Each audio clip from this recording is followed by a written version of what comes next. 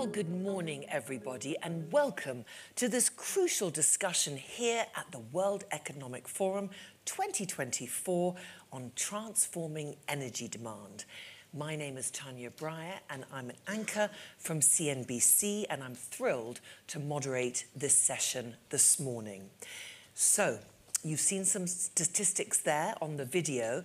By 2050, estimates indicate that the global economy will have doubled in size and will be serving a population of over 10 billion people. In this context, improving energy efficiency is critical to delivering an affordable, secure, and climate aligned future. Research in the recent white paper, Transforming Energy Demand, published by the World Economic Forum, shows that there are many tangible actions that all businesses can take today to act on energy demand. So, what can companies and governments do to enable economic growth through transforming energy demand? Just before we start, I'd just like a few housekeeping points. I'd like to remind you that this session is being live streamed around the world. We have audience members from all over joining us online, and of course, for you in the room as well. Please remember to use the hashtag WEF24 when sharing any updates on your social media channels. And there will be time later on in this session for your questions. It's now time to introduce my very distinguished panel. Please welcome, right next to me here, Dr. Fatih Birol, Executive Director of the International Energy Agency. Welcome, Fatih. Peter Herweck, Chief Executive Officer, Schneider Electric. Welcome, Peter. Dr. Ilham Kadri, Chief Executive Officer and Chairman of the Executive Committee, Syensqo Dr. Anish Shah, Group Chief Executive Officer and Managing Director, Mahindra Group. And last but not least, bringing up the rear, Bobby Moritz, Global Chair, PwC, United Kingdom. Bob. So, Dr. Birol, what can companies and governments do to enable economic growth? We've just seen at COP28, of course, the pledge by over 120 countries to double the global average annual rate of energy efficiency improvements. Historically, as we were talking before, we've seen a focus on supply but now it's crucial to talk about demand. Why? So, first of all, this is a great day. The reason is in Davos, in the World Economic Forum, I think this is the, for me the 14th year in a row that the energy efficiency takes such a prominent role. The opening day, we have a, a we have a session on energy efficiency. It is really a dream uh, for the people like uh, me that there is a growing attention on energy efficiency finally. Yeah. So for us, for many of us, energy efficiency is very important because they are so strong drivers. It's simple. First, if we want to protect the consumers from high energy bill, energy efficiency is a must. You use, less, you use less energy. Second, it is good for your security, energy security for the governments, for the, for the uh, nations to have more secure energy. If you use less energy, you import less energy. Third, for the industries, for their competitiveness, it's a key issue. If an industry, if a, uh, a, a company wants to be competitive vis-a-vis -vis the others, you have to reduce the cost of uh, energy and energy efficiency is critical. And fourth is uh, the uh, environmental footprint, uh, climate change. For all these reasons, normally you would think, as the Americans uh, would say, it's a no-brainer. uh, but uh, we have not seen enough policy attention and energy efficiency. So as such, today is a very good day. Now, you mentioned the uh, COP28. Mm. Uh, you are right. Uh, it is uh, one of the important outcomes of COP28, and we have as International Energy Agency, together working with COP28 presidency, we, we made five conditions to consider that the COP28 would be a uh, successful one. And one of them was doubling the rate of energy uh, efficiency improvement, together with renewable tripling and the others.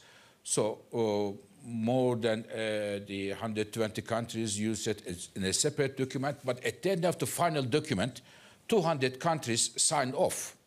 We are committing ourselves, we are making this pledge to double the uh, rate of energy efficiency. This is great. Mm. It's a great news.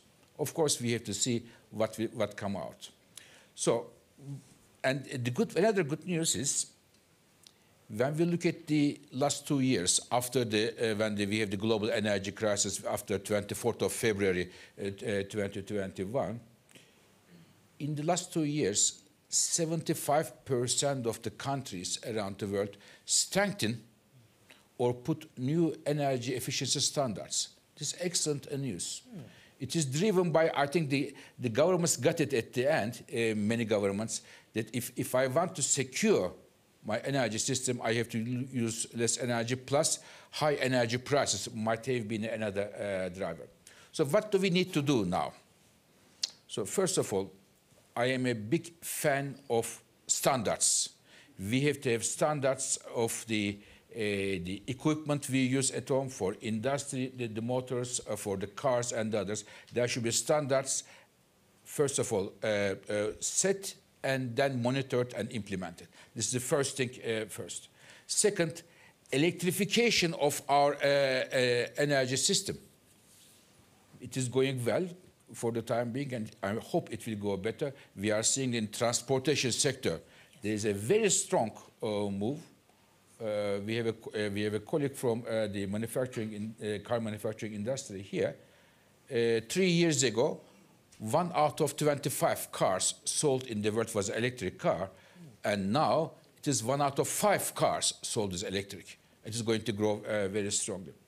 So the heating at home, it is going more and more, uh, the, the, the heat pumps leaving aside the uh, fossil fuel heaters uh, behind us. And there are many other ways. This is the second one. Standards, electrification. And the third one is, the most important one maybe, investments. We need to triple the investment in uh, the energy efficiency uh, measures, which in most cases pay back in two or three years of uh, time. It's a very lucrative business, but the governments need to uh, give the incentives, especially low and mid-income uh, groups, to make the first investment to buy a heat pump or to have an electric uh, car or, or, others. So uh, all in all, I believe there is a new era starting uh, for the acceleration of energy efficiency around the world. We all understood it's a good thing to do, regardless of climate, regardless of something else, just for our pockets, for our energy security, and also uh, remain competitive. The, uh, the, companies, to finish with the companies, the companies who do not uh, put enough emphasis on energy efficiency will be less competitive vis-a-vis -vis others. This is a real fact now. How fast can these actions be implemented, do you think, Peter, the ones that Fatih's talking about? Well, you know, I think the time is uh, now to do it, and technology today is available uh, to take out 70% of the CO2 emissions with today's technology. Let's put this a little bit into uh, perspective. 80% uh, of the carbon generation is related to energy. 30% in buildings, 30% in infrastructure and industry, and 30% in transportation, and then a little bit of the rest. Now, if we look buildings, uh, for example, since it's a, a third of, of the block, to put it into perspective. You said earlier until 2050 we have 10 billion people um, on the planet. That's 2 billion more than we have today. Plus, there are a billion people that don't have access uh, to energy today. We want to bring them also into, into the fold of having access to energy because it's the passport to a good life. So 3 billion people that need to put, will be put into energy at that point in time, and that also need housing. Just to give you an idea, we need to build until 2050 what China has built and what Europe has built just to house these people. Now, all the infrastructure and buildings that are there in Europe, they're going to be there in 2050. We're not going to rip everything down and build it new. So we need to renew what's there, and we need to do it at speed. Now, the payback period, and you know, many of us are, are, are, business people, so we're worried about the payback period.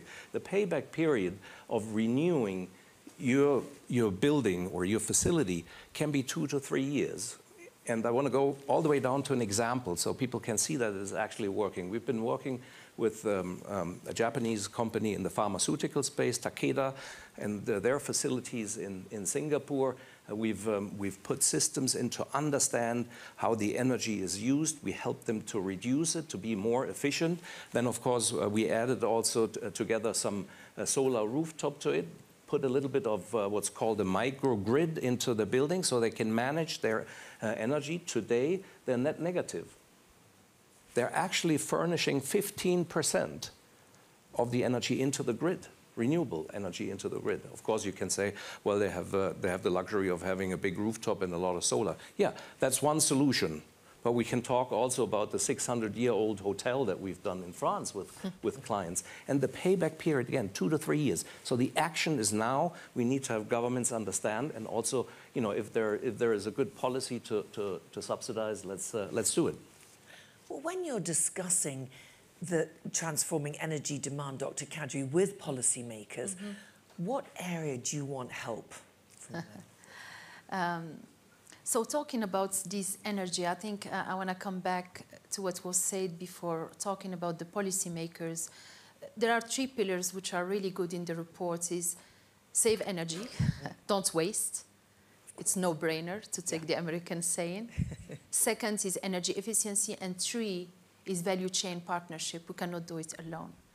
And I represent here the chemical industry, right? So I do whatever Peter says. So on our site around the world, I put solar, where uh, our site is blessed with, uh, with solar, etc. And indeed, there is efficiency. But in the hard to abate, we have a bigger problem, right, in how to de decarbonize our industry.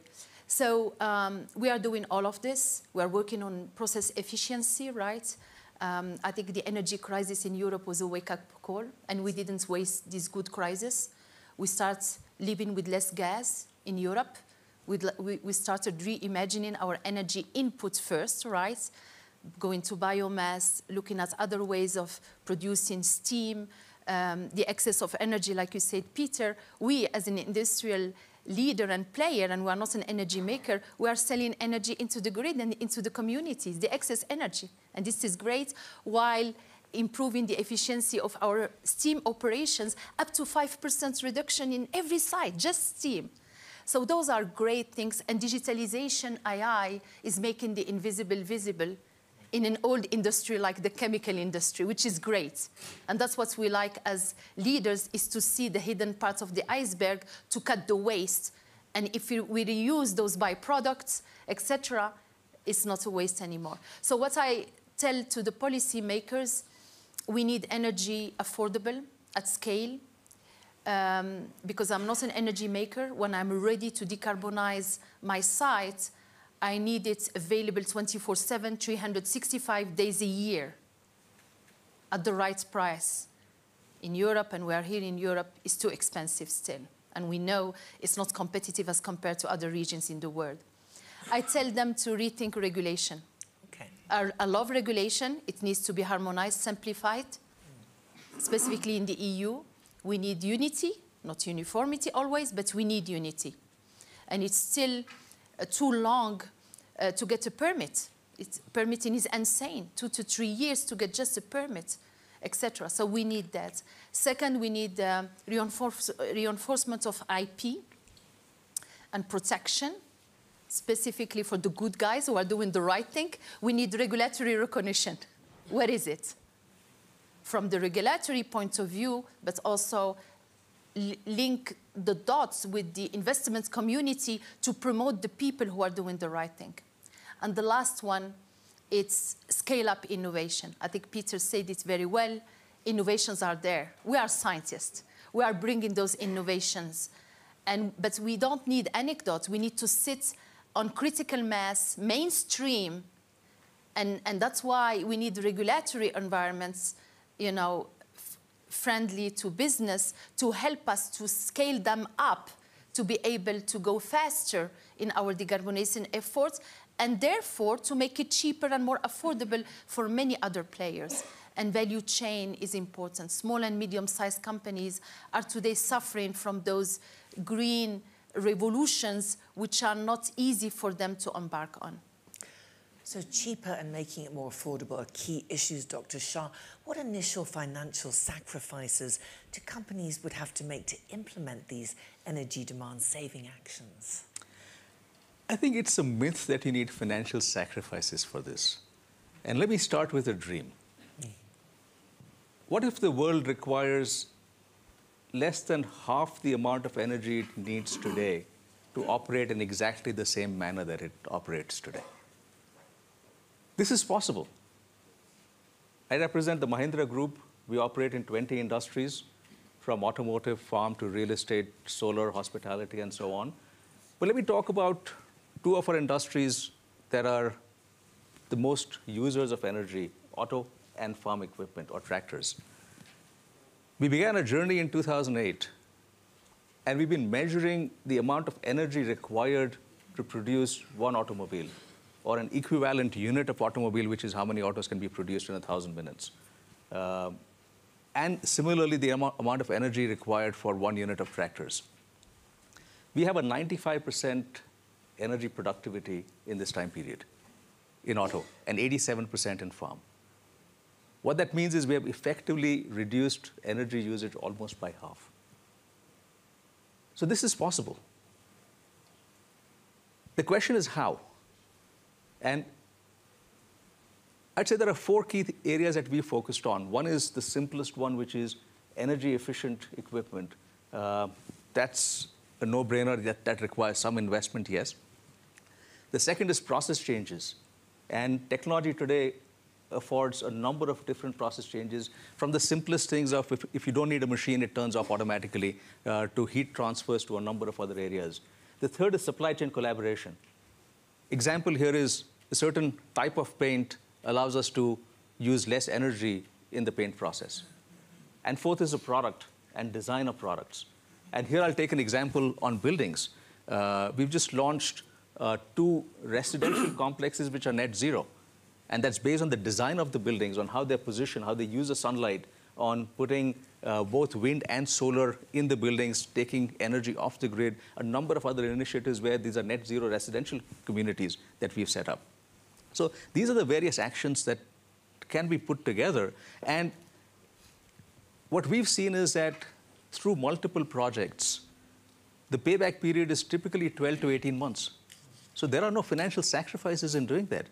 Uh, there is no silver bullet, though.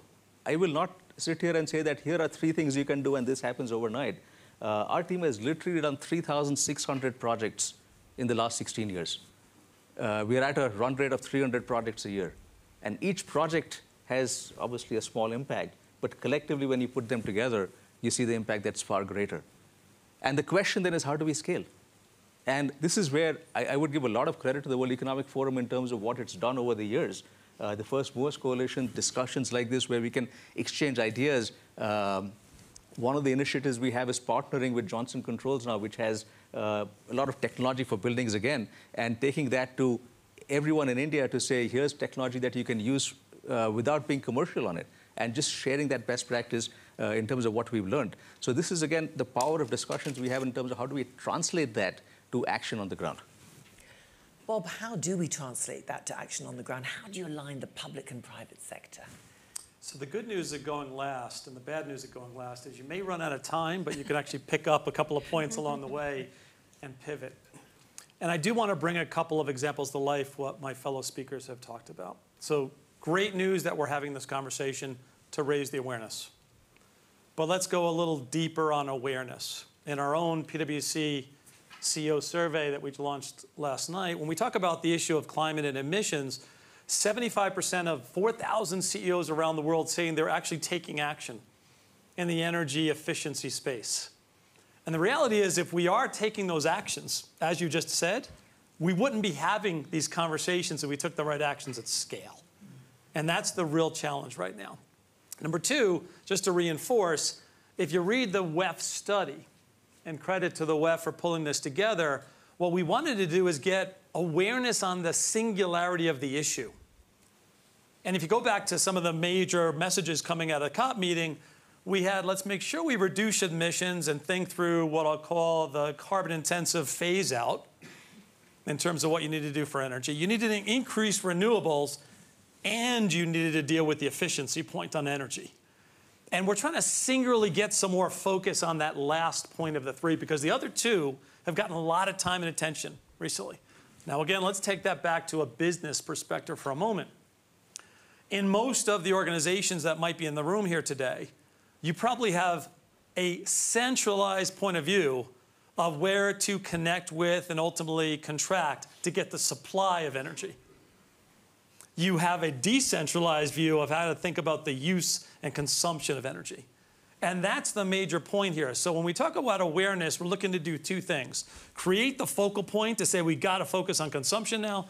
And second, awareness of the many different choices of on the menu of which you can pick many of them, small little ones that'll move the ball forward. And we're looking for incremental savings at scale.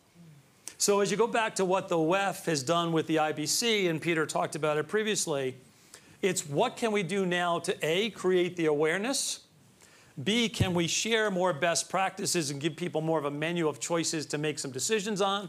And these decisions go in the area of savings, which is quick, easy. A decision just needs to be made. It's an operating expenditure. There's other decisions that are more around efficiency that may be CapEx, and you do have to make some investments. But as Peter said, the ROI is almost immediate. And third is how do we actually get the partnerships together? And this goes now to the partnership point. We need partnerships across the sectors and the commercial side, because if we come together to share best practice and maybe take action, you actually get an amplifying effect. In fact, we think that's the biggest amplifying effect when you look at what you can do on the savings side versus the efficiency side. And the second piece of that partnership is with governments. And the next phase of work has to be how can we work with governments to say what are the right policy changes to be made to accelerate the curve? We've been talking about some of the policy changes on increasing renewables. Yeah. Now, what do we do to actually have the right dialogue on policy changes to enhance the efficiency points? And that's the next phase here that we've got to create awareness for and get some of the G7 and G20 countries really focused on those points. How do you get that collaboration? How do you encourage the public private sector governments to go in the same direction?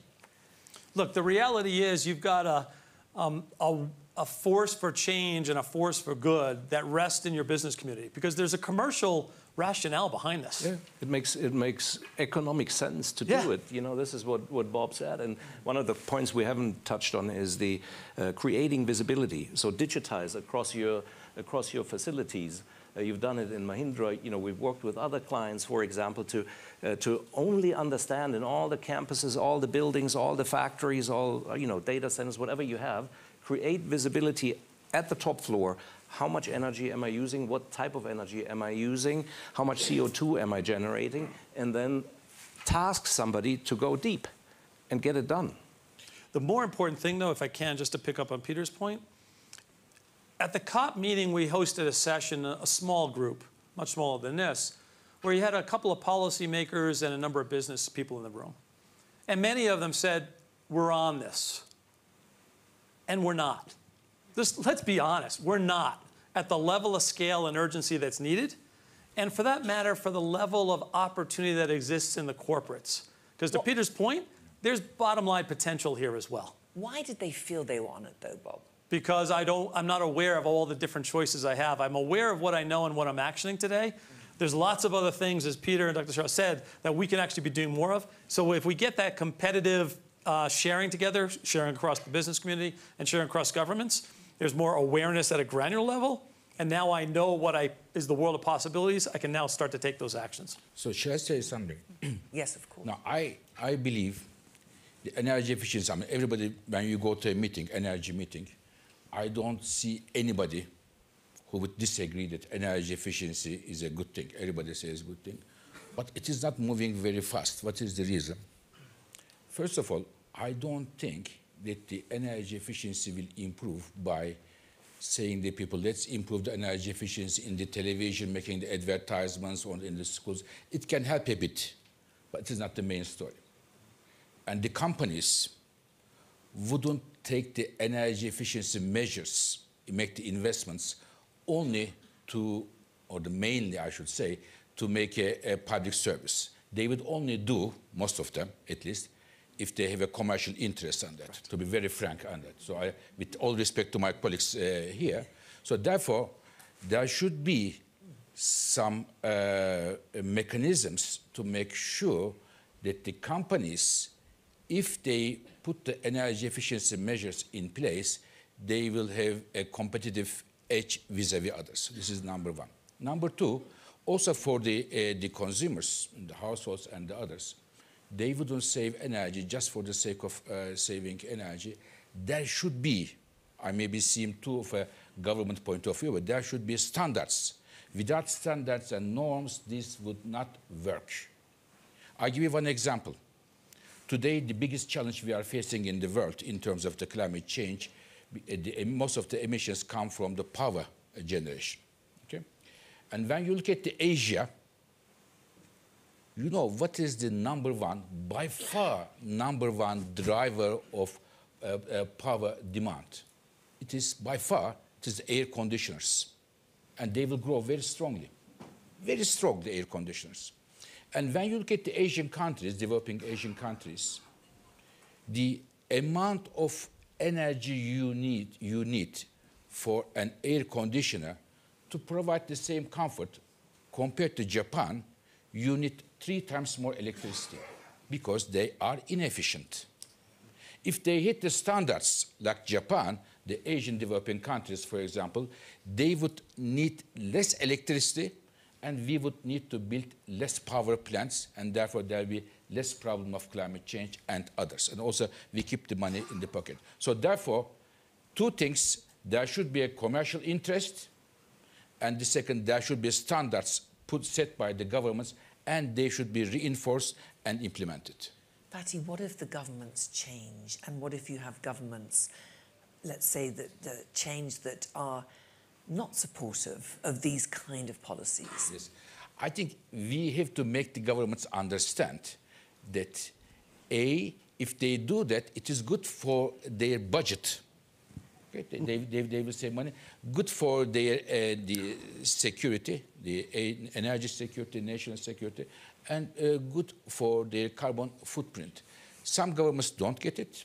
Some governments get it, but the energy efficiency is a complicated business you have to coordinate it among the different ministries. It is not only energy ministry, it's energy ministry, finance ministry, the, the industry uh, ministry. You have to have a coordination and you have to get the coordination uh, done. It is the reason why we are working many governments around the world. We brought about 60 uh, governments uh, last year in, in Paris, in, in Versailles, to give them the guidance there. And it is a reason many governments are picking up and putting new standards and norms and they are uh, following it because they understood that this is not for the sake of the world, for dreams and utopia and everything. It is for real life. It will be better for their budget.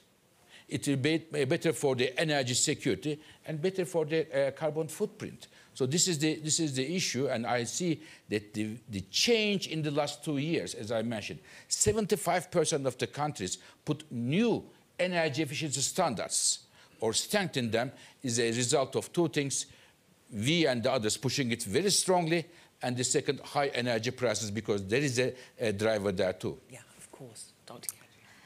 I think there is a big elephant in the room called competitiveness. um, and with all of this, I think we are, we have great examples, industrial examples.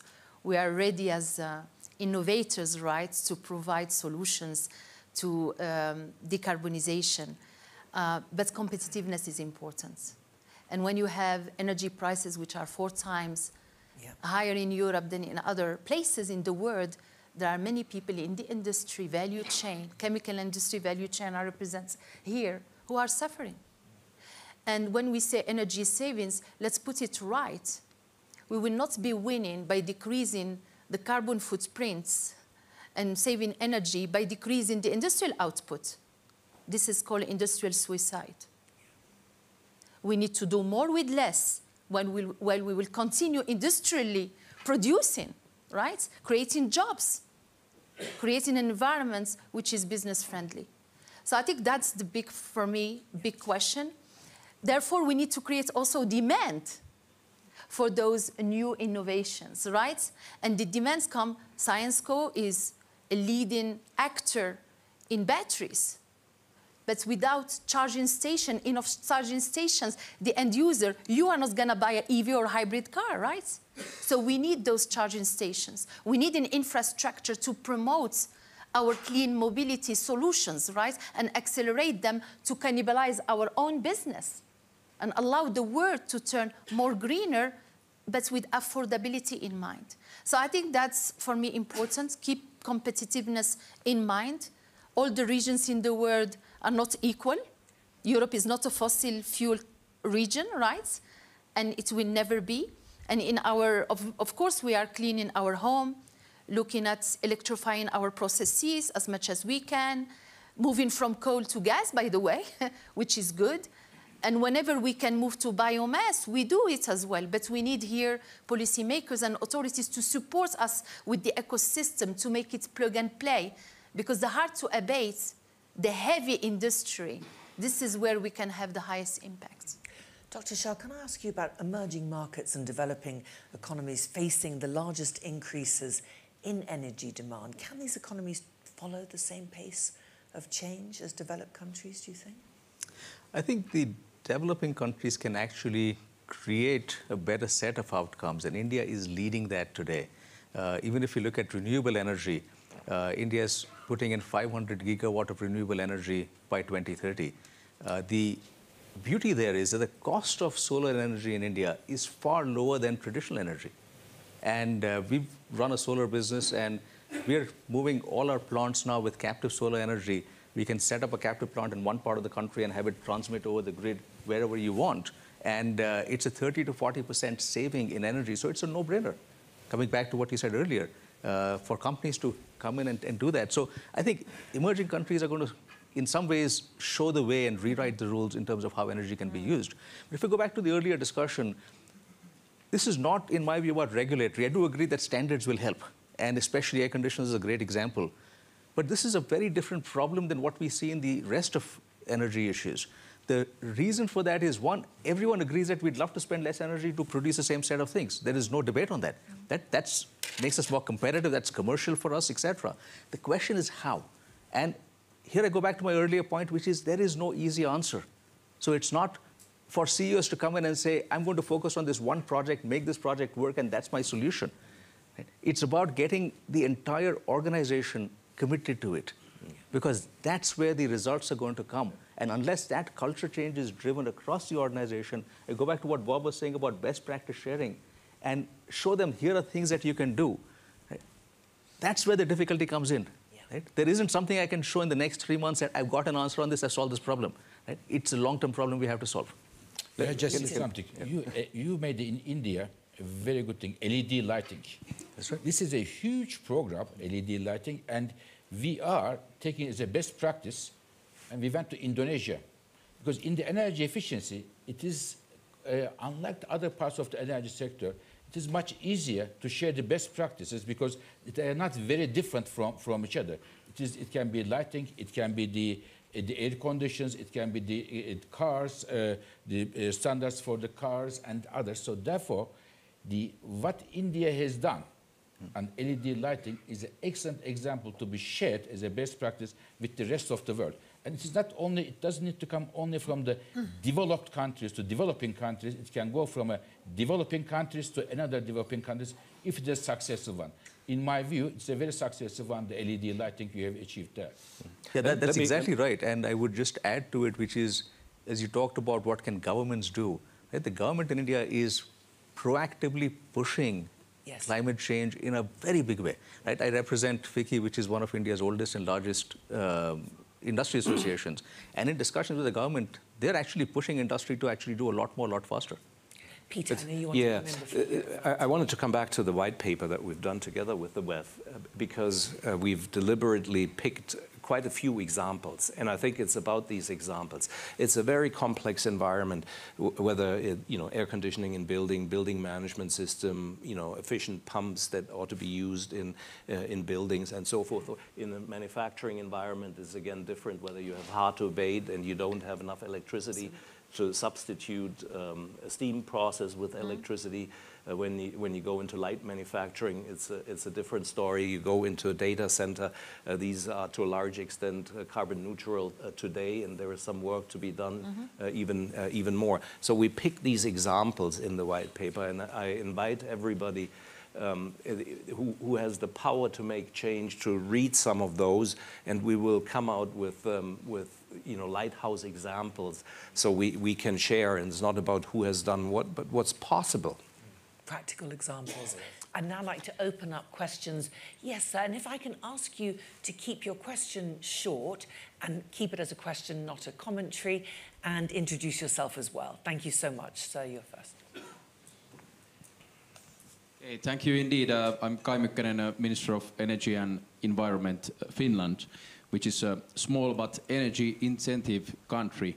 And uh, we had last year actually already 94% uh, fossil-free electricity, and we've decreased emissions by almost 90% since 2010. Uh, the problem is seasonality. We had last year 467 hours of negative electricity price. So more than 19 days in a row, if you put it. But on the other hand, two weeks ago, we had a day where we were having two euros per kilowatt hour for almost whole day. And uh, my question for you is that how you see this balancing balancing challenge that is it is the result or the answer more from the demand side that do we see potential for for example buildings or electric vehicles taking the largest part of the uh, demand response and, and, and balancing uh, challenge? Or does this mean that we actually need clean baseload as nuclear? We need flexible uh, weather independent energy, not only wind and solar, because this is what we are now considering heavily. And of course, we try to solve with all these angles, but you can now give your wise advice. Thank you so much. Dr. Birol, now you want to answer. So what you can uh, do is uh, in uh, Finland or other countries like that, uh, there are three uh, areas. One, uh, demand side response, and this is more the making sure that in the difficult times, the efficiency measures come in place. This can be as a result of, again, standard norms or a different type of pricing of electricity. And the second one is in addition to the, uh, to the renewables, it is important to have uh, the, the hydropower or nuclear power uh, in the mix. And I believe with the increasing share of uh, uh, renewables and in the countries where there's a seasonality issue, nuclear power can play an important role. And it is the reason why we are seeing uh, around the world nuclear power is making a strong yeah. comeback. Absolutely.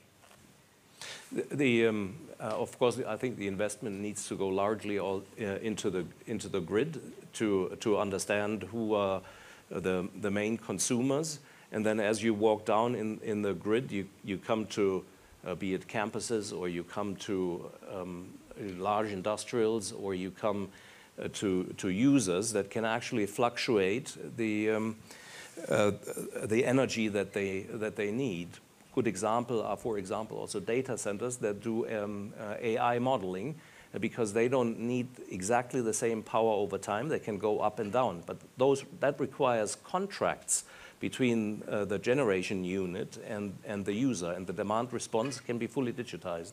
So it, uh, you know, you have one of the most complex problems at the, at the end of the day, but you, it's good that we have countries that are so far in the renewable space. Now, um, how much can we shape off the peaks and fill the troughs? That's the next challenge to have. And I think digitization of the grid into the microgrid, into the big users, uh, will help to, uh, to do it. One point that we can't forget is today we are so focused on energy consumption, the, the dialogues that we're having, on what I'll call the traditional energy sources. We have to be equally as focused on reduction and efficiency and savings of the renewable energy sources to avoid, again, a repeat of the same problem. Because right now, we still don't have enough supply around the world on the renewable side to deal with this issue. So we actually have to be smart on both. And I don't want to have us focus just on one side or the other. It's a broader mm. energy efficient point that we should be talking about. Let's just take another question. We have time for one more.